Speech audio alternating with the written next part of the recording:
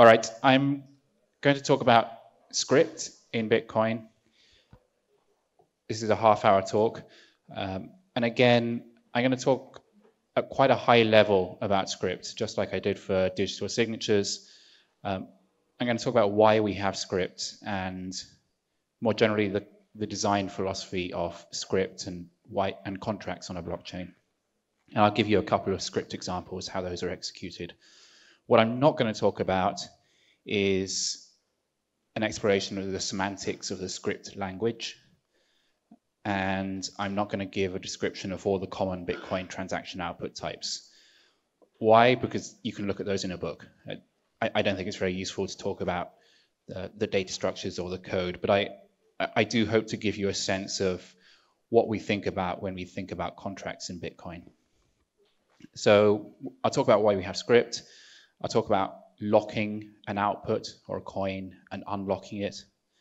I'll give a couple of examples of the stack for pay to pub key and multisig. And then I'll just touch briefly, briefly on the role of a blockchain, whether it's computing or verifying.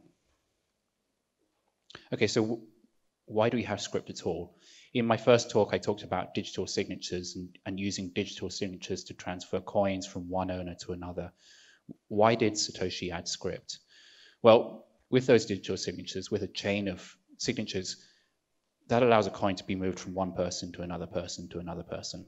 But what if I want my coin to be spendable when two out of three people sign, right? So this might be an escrow service or some cold wallet service. How do I do that? What if I want my coin to be spendable when someone presents a secret or a secret value, for example, the pre-image to a hash digest? What if I want a coin to be spendable after a certain amount of time? What if, what if, what if? So instead of creating lots of different special transaction types, um, Satoshi added added a generic scripting language. So users of Bitcoin could specify um, encumbrances or conditions for spending coins. Now that wasn't mentioned in the white paper. And it may be that script was added quite late into the development of the Bitcoin source code before release. Early versions of script were very buggy. For example, anyone could spend anyone's coins. That's a, that's a bit of a bug, um, which suggests that maybe the implementation was a little bit rushed. Okay, what is script? Um, in Bitcoin, a contract is what we call a predicate. It takes some inputs and it outputs either true or false. And those inputs are the transaction and some additional data provided by the person spending the coin. And it returns true or false. True, the transaction is valid. This is a valid spend of the coin. Or false, the transaction is invalid. Contracts in Bitcoin are implemented as programs, and those programs are written in a programming language called script which is an unfortunate name, but there we go. Script is a stack-based language, and that means that every item in that language either pushes elements onto a stack or acts on elements on that stack, either removing them or doing something to them, inspecting them in some way. And at the end of execution, if the, scrap, if the stack is non-empty and the top element is non-zero, then that is true. Otherwise, the script is evaluated to false. Okay, so how do we lock a coin and encumber it with some kind of condition, and how do we unlock it? A transaction output is locked with conditions, and the input unlocks it by satisfying those conditions. The locking conditions are encoded in a script, which we call script pubkey. That's the name of the the variable within the source code. And the unlocking proof or conditions are encoded in a script sig. Early versions of Bitcoin, so v0.1 up to 0.3.8, simply concatenated those scripts together and ran them. And if it evaluated it true, then that was a valid spend. Now, unfortunately, that's broken. And if you do that, anyone can spend anyone's coins. I won't explain why. It's, it's quite a fun exercise to see if you can work out once, once you know how script works, how you could spend anyone else's coins under this system. But it was broken. And so in v0.3.8, that was changed, fixed, by running the script separately. So first you run the script sig, and that places elements onto the stack. You leave those elements there, and then you run the script pub key. Um, note that because the spender is providing the script sig, it doesn't really need to be, you know, doesn't necessarily need to be a script. It could just be placing elements onto the stack, right? So it shouldn't really be a script. It's just providing data elements. That's the script sig. So for example, here's an example locking condition. The simplest script pub key, um, sorry, the, this, the, the slides that I gave for translation said script sig. It should say script pub key there. Um, I'll send out corrected slides. So the simplest script pub key is called pay to pub key or P2PK. And the condition for spending a P2PK output is signing a message with the private key corresponding to the given public key. That message, the message that the signer must sign, is a part of the transaction that they are, that they are signing. Um, and, and we talked about how digital signatures worked in the first talk. So this is this is just a digital signature over the transaction or parts of that transaction. And incidentally, this is why it's called um, script pub key because the script pub key contains a pub key and script sig because the script sig contains a signature. Okay, multi-sig is, is another very common type of transaction um, output. And a multi-sig is used when you want your coins to be encumbered with k out of n parties signing. So the condition for spending a multi-sig is that you must sign a message with k private keys out of the n public keys given in the locking script. And the message that we sign is the same for each of those public keys. It's a part of the transaction that you're spending. All right, next up is pay to pub key hash.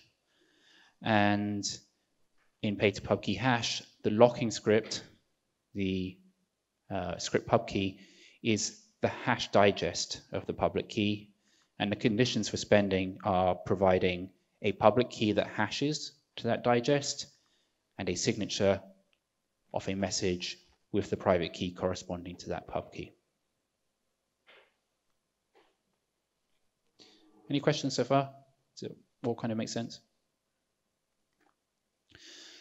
Right, next up is pay to script hash. Um, and pay to script hash locks an output with some arbitrary script. And you just provide the hash digest of that arbitrary script.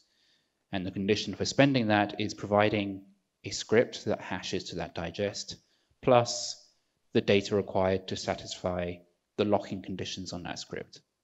Right, so the, the spender provides a script in this case. So what, why, why P2SH? Why do we do this? Why, why when we send a coin do we just use a hash instead of giving the whole script? Well, it means that the script pub key is a uniform small size. It's 32 bytes plus a bit of filler. And the sender, the person sending the coins, does not need to know the spending conditions for what they're sending. So if I want you to send to me, and for some reason I want the spending conditions to be I can't spend after some amount of time, or it needs to be a multi-sig, or whatever conditions I want to put on that output, you don't need to know about that if you're sending it to me. I just give you the hash of the script and you send to that hash. The receiver, that's me who's put the conditions on, I pay the additional fee if it's a large or complex script. And the script pub key, because it's just a hash, it's a uniform template, it's hash plus some opcodes, that can be encoded in an address. We have an address format for pay to script hash. And then some newer ones, pay to witness pub key hash and pay to witness script hash. These are new locking conditions with SegWit, BIP 141, which was in the last talk. Pay to witness pub key hash, pay to script hash. And th these are similar to before. And the key difference is that the data required to satisfy the conditions is carried in a separate, a separate structure called the witness. That's why it's called segregated witness. And that witness is not covered in the transaction ID. That's what fixes the malleability. So those are all the common types of transaction output or script. I'm going to talk very quickly about two, two of those, two of those standard transaction types, um, and just show you what it looks like on the stack when we're executing those scripts. So pay, pay to public key, this is the easiest, most straightforward transaction output type. The script pub key contains a public key, and that's 33 bytes if you're using compressed pub keys, plus the opcheck sig opcode. And the script sig, that's what the, the spender of that coin provides, is just a signature, and that's usually 71, maybe 72, 73 bytes. It's a variable length. So before execution, you have your, your script sig. This is provided by the spender, the person spending the coins, and you have your script pub key that is provided by the person sending the coins. And first of all, you, ex you execute script sig. And because it's just a data element, that data element gets put onto the stack. So after you've after you've executed script sig, you you end up with a stack with a signature on. Your script sig is empty, and you haven't done anything with the script pub key yet. Next, you execute script pub key. So the first element is pub key. That's a data element. You just push that onto the top of the stack. And then the next element in the script pub key is this opcode, opcheck sig. That takes a look at the two elements in the stack and verifies that the signature is a true signature for that pub key. If it is, it pushes one to the stack. And we're done. Now the stack is not empty, and the top element here, one, is non-zero, so that evaluates to true. Any questions about that? Okay, pretty straightforward. Multisig, um, again, quite straightforward. For a KFN multisig, the script pub key, so this is a locking condition, contains the number K, that's how many people I need to sign. That's one byte, usually. Um, all n public keys, and again, those are 33 bytes each if we're using compressed pub keys, or 65 bytes if they're uncompressed. And then the number n, that's the number of public keys.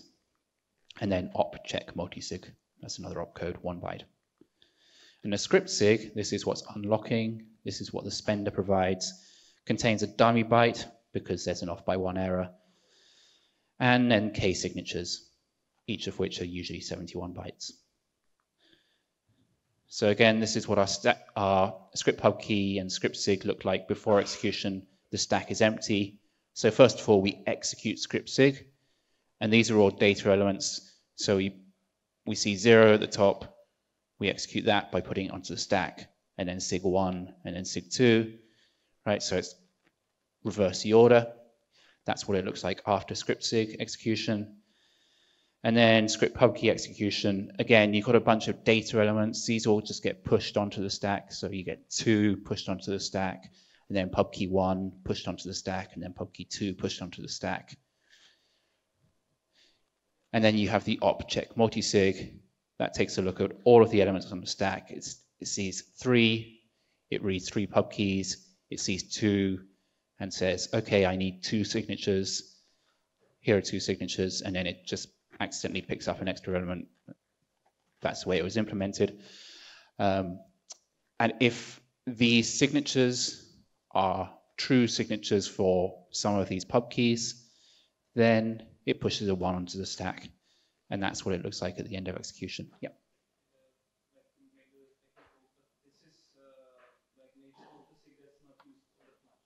Sorry, say that again? Like this is a native multisig that is not used all the time. Yeah, this is bare multisig, um, and it's expensive because it's using up a lot of, um, it's using data in the UTXO set, so it, it, it, costs extra fee to do this. Usually multisig would be wrapped into a, a P2SH.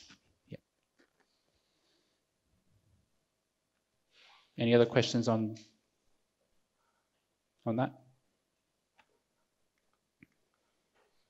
Okay, so once that opcheck multi-sig is run, it pushes a one onto the stack. We're done with execution because we've drained our, our script pub key and we're left with a one on the stack. So the stack is non-empty, the top element is non-zero, and so this evaluates to true. Any, any questions about that? Okay. Um, I'm just going to finish with a kind of philosophical uh, ramble about computing and verifying on a blockchain. So as I said before, a contract is a predicate, right? It takes inputs and it outputs either true or false. And Bitcoin nodes, when they're verifying transactions in the blockchain, they're only interested in whether that contract contract evaluates to true. Right? We're not interested in how it gets to true. We just need to know that the output is true and not false. Now, Bitcoin, the way it's implemented, uses script, which is a language which is interpreted and executed by every node. And so we're doing a computation, right? We're, we're doing, we're repeating all the steps in a computation, in a computer program. But really, we're only doing that because we're interested in verification. We're only interested in the output. It doesn't really matter how we get there. Um, now, adding more com computational workload to contract execution does not scale. It's, it's a really bad way of scaling a blockchain. Verification is much easier and more scalable than computation, especially, especially if we have things like aggregate signatures or batch validation for multiple signatures. If we have every contract is just some arbitrary program in some Turing complete language, then that makes for an unscalable blockchain. So at the limit, a blockchain could use zero knowledge proofs instead of script execution, right? So really, we just need a proof. We don't need the execution. But at the margin, there are lots of technologies in Bitcoin that can improve scalability by only committing minimal data to the blockchain, right? So instead of having the whole script on the blockchain or all of the conditions on the blockchain, if you can provide a proof that the conditions have been met, that's a lot more efficient, scalable, What are some examples of this? Well, only reveal the spending conditions at time of spend is good for scaling because it means those spending conditions don't need to be stored by every node before that coin gets spent. And we do that with pay to script hash or pay to witness script hash. Um, those, are, those are good for scalability because the UTXO set that every node keeps does not need to store the spending conditions of every coin. We can batch multiple payments into one on-chain commitment. So we do that with layer two, things like Lightning. So one on-chain transaction for Lightning is um, encapsulating tens or hundreds or thousands of off-chain transactions, but we just finish with a proof that this is the final state, the final transaction.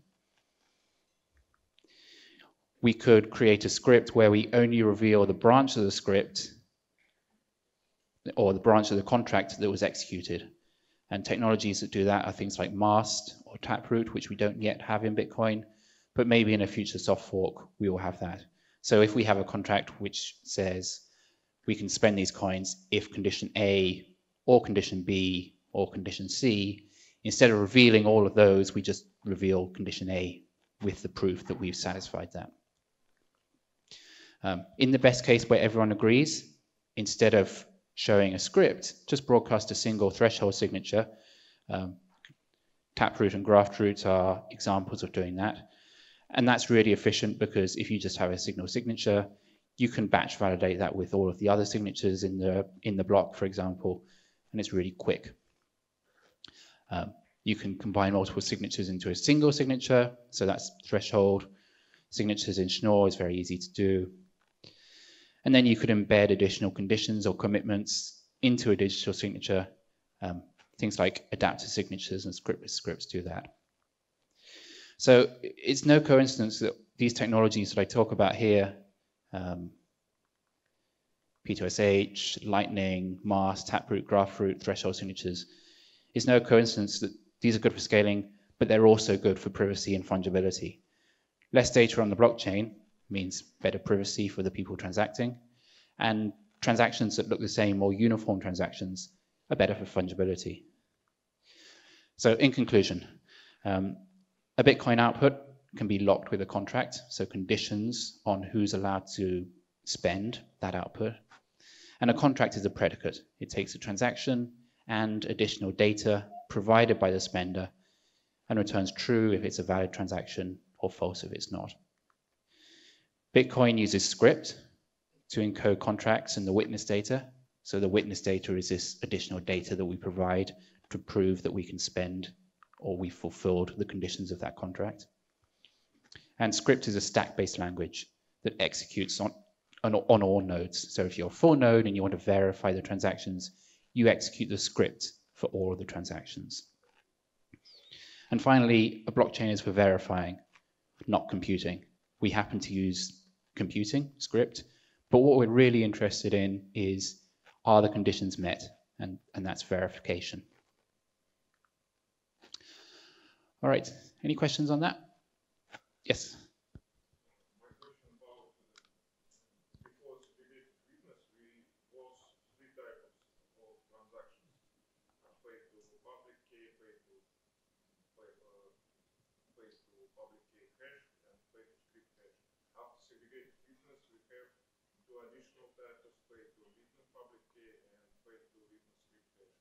Why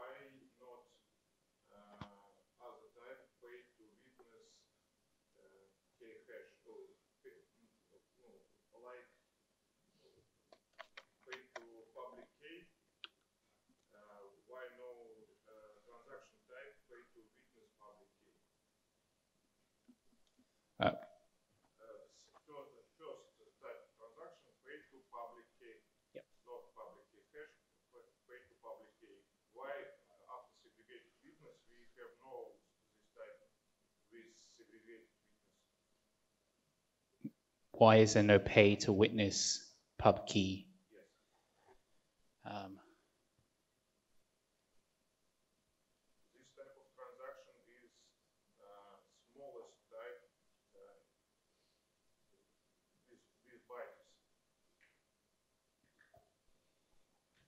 Good question. Um, that was the way that SegWit was designed. There, there are two types of SegWit transaction. Pay to witness pub key hash, which is 20 bytes, and pay to witness script hash, which is 32 bytes. Um, yeah, I don't know. The, the types of transaction that I've mentioned here are all standard transactions. So those are transact. That's nothing to do with um, consensus. Any transaction is permitted that uses the script language, but those transactions won't get propagated by full nodes to miners unless they're standard. And there are now seven types of standard transaction, pay to pub key, multi-sig, um, data, so op return, pay to script hash, pay to pub key hash, and now the two witness types. Yes, Taj.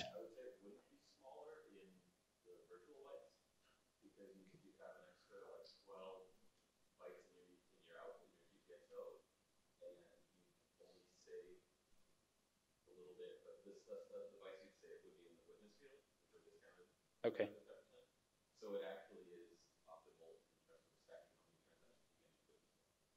Pay, pay to pub key hash is optimal in terms of weight. Yeah.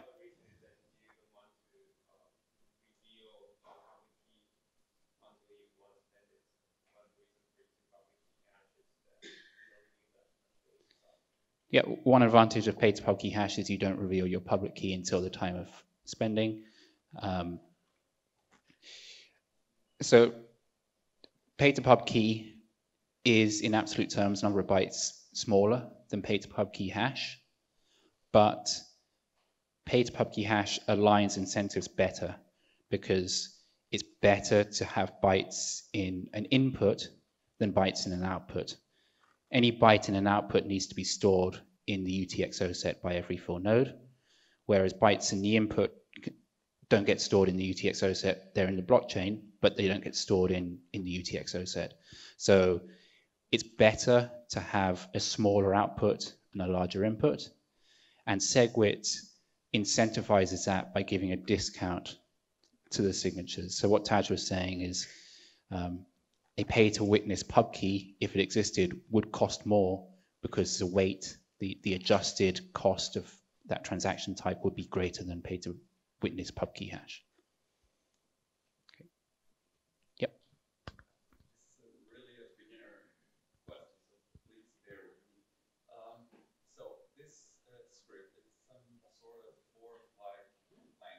Yes. Um, then what's the deal with Ethereum? Because I thought that the, they told that was, okay, it's programmable. You can have smart contracts. You can do the same thing with script. But what, what are the main differences?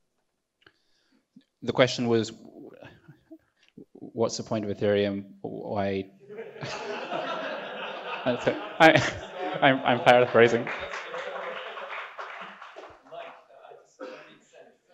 Yeah. Um, well, script is very limited. It's not Turing complete, so you can't have loops, for example. And the design philosophy behind Ethereum was that if you have a Turing complete language and if you have state saved on the blockchain, you can do create many additional applications. Now, I'm not sure I agree with that approach. In fact, I don't agree with that approach for the reasons that I, I, I state um, here that adding more computational workload to the blockchain does not scale. And even more, adding arbitrary workload, so adding a Turing complete scripting language where you can have any kind of computation does not scale. Um, now, the people at the Ethereum Foundation claim that they can make it scale with sharding and various other technologies. That's yet to be seen. But if you have a, a very simple base layer, Bitcoin, where it's really in the end just verifying signatures, that is a lot more scalable when you build on top of it with layer two, things like Lightning and so on.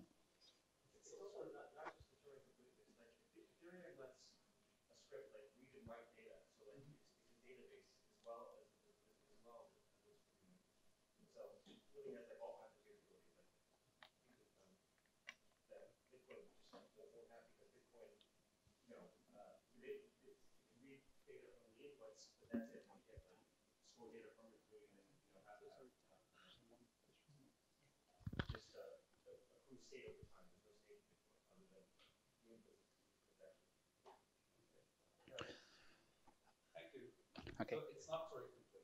It's no, no, no. Script is not Turing complete. I have time for one more question. Yes.